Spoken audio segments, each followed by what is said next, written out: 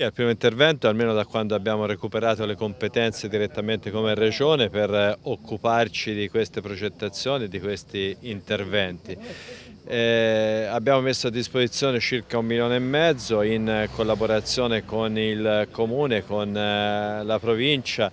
per eh, questa realizzazione che migliora la congiunzione tra la 206 e la strada provinciale 21 ma soprattutto mette in sicurezza l'accesso ad un'area industriale molto importante e molto frequentata. Quindi eh, per noi è importante la presenza della Regione che dà risposte nei territori, a volte con opere anche eh, di grande rilevanza e che richiedono interventi economici molto sostanziosi, a volte anche con cifre inferiori, anche se un milione e mezzo è comunque una cifra